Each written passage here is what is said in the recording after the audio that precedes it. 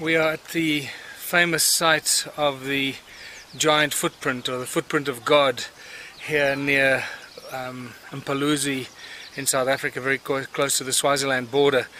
Now this is one of the greatest examples of an ancient footprint, a giant footprint about four feet high in rough granite.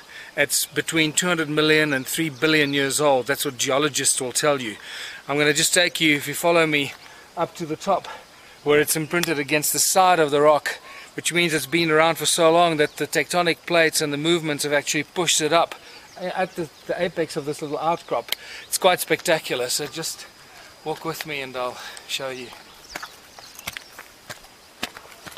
I don't know of any other example of a of a footprint in rock that is as amazing as this and this should be drawing 20 million tourists to South Africa every year and nobody knows about it. It's unbelievable.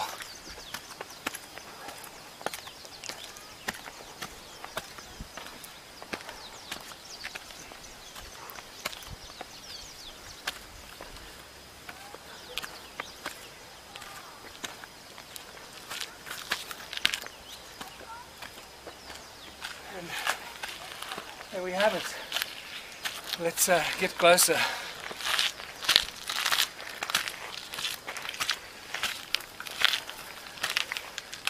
Wow. Uh, this is just beautiful.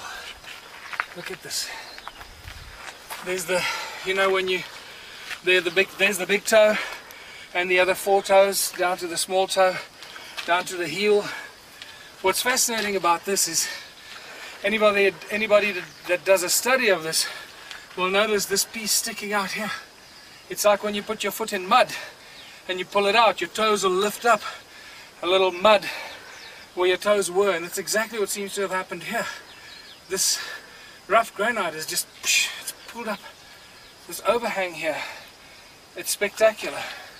And I see that people have been visiting here because they've been leaving little coins here, which is wonderful. Um, maybe just come closer and and show um, um, this from more close up.